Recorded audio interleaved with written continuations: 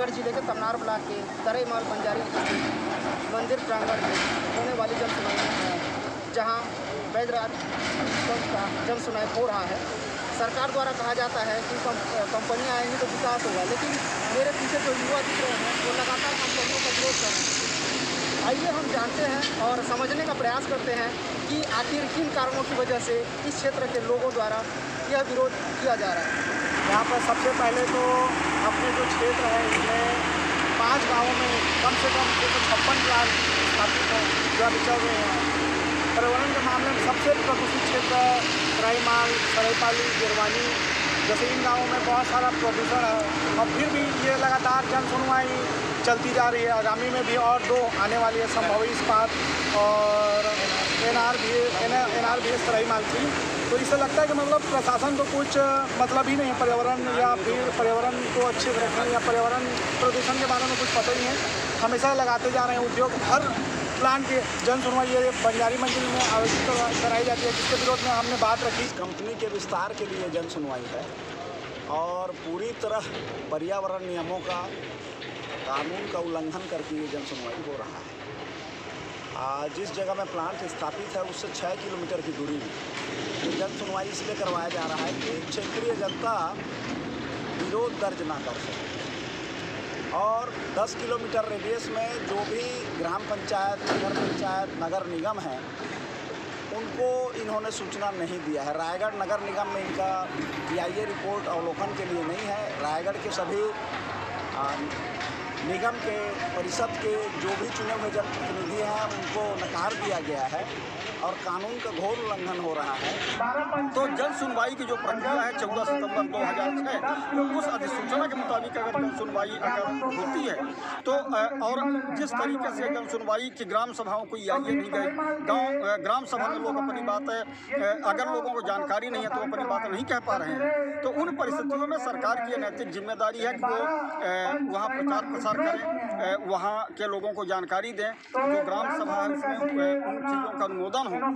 परंतु अगर देखा जाए तो लगभग कुछ गाँवों को ये ई दी गई है। जितने पूरे क्षेत्र में ई पहुंचनी चाहिए वो उस तरीके से उन क्षेत्रों में प्रभावित क्षेत्रों में ई नहीं पहुँचाई गई है। इसके साथ ही ये संविधान की पांचवी अनुसूची है। यहाँ बिना ग्राम सभा की अनुमति के कोई भी आयोजन सरकार नहीं कर सकती।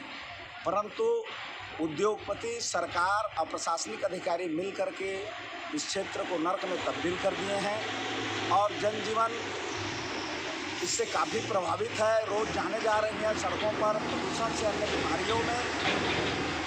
इस क्षेत्र को, सरकार को अति प्रदूषित क्षेत्र घोषित करना चाहिए। और यहाँ की जनता को एकजुट होकर के लड़ना चाहिए ताकि आने वाले समय में किसी भी कंपनी का विस्तार ना हो सके नई कंपनी यहाँ डाला ना जा सके। तो एक तरीके से अगर ये देखें तो ये पूरी प्रक्रिया ही जन सुनवाई की जो है वो दरअसल गलत है। आज कंपनी आने से वैसे तो कोई फ़ायदा नहीं सर साल नुकसान ही नुकसान हुआ है।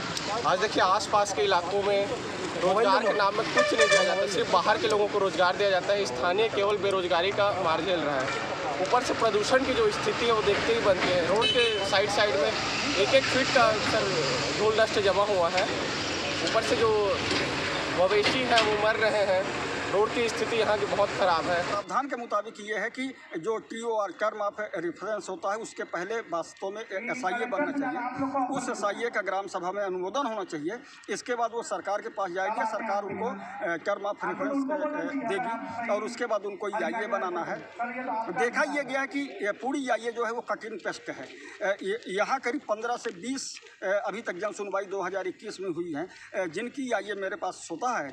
मैं जब देखता हूँ तो एक जैसे एक ही चीज़ें केवल कंपनी का नाम बदला है और बाकी वही को वही जाकर उन कंपनियों के अंदर है। जो ई ए बनाने वाली एजेंसी है, वो दावा ज़रूर करती है। पर जब आसपास के गाँव के लोगों से मेरी बात हुई तो वहाँ विगत जो ठंडी और गर्मी और बरसात के जो डाटा लेना चाहिए, कोई भी कंपनी नहीं गई है। और इवन गाँव के लोगों से तो मिलना दूर, अगर वो कंपनी गई होती तो वहाँ के कम से कम पंच सरपंच और चौकीदार से ज़रूर मिलती। तो ऐसा लगता है कि वो कंप्यूटर बैठ के ही आई बना दी जाती है। और बिना देखे बिना समझे उन याइयों पर जो है ये जन सुनवाइयों के माध्यम से एक बहस होते रहती है। तो ये भी एक गैर कानूनी तरीका है क्योंकि याइये बनाने के लिए आखिरकार कंपनियाँ पैसा देती हैं।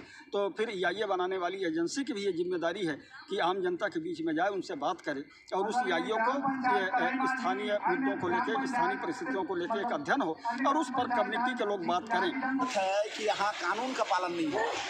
कलेक्टर जो है वो राज्य शासन के दबाव में इन सब उद्योगपतियों को लाभ पहुँचाने षड्यंत्र कर रहे हैं। इसके लिए विधिवत कल कानूनी नोटिस जिला कलेक्टर को पर्यावरण अधिकारी को दिया गया है और उसके लिए आपराधिक प्रकरण दर्ज किया जाएगा।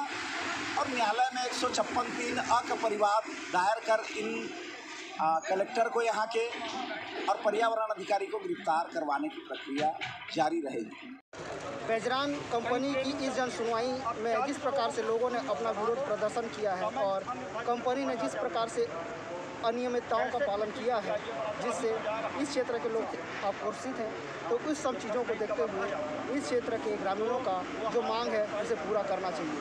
मैं राजेश गुप्ता, जिला रायगढ़, छत्तीसगढ़ से इंडिया अनंत